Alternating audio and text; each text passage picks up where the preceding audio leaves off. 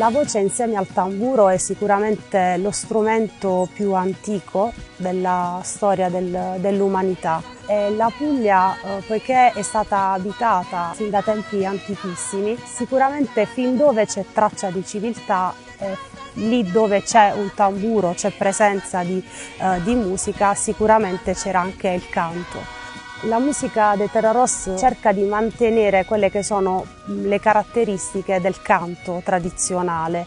Sicuramente la caratteristica predominante è la coralità, la presenza dei cori e dei controcanti, così come fondamentale era anche un'impostazione vocale che si avvisiva in maniera naturale, senza studiare, senza approfondire una tecnica, perché era tutto molto istintivo. Quindi l'esigenza di farsi sentire da un campo all'altro, da un albero all'altro, portava questa voce naturalmente a risuonare nelle cavità della, del viso, nella maschera, eh, per creare proprio potenza sonora nella voce.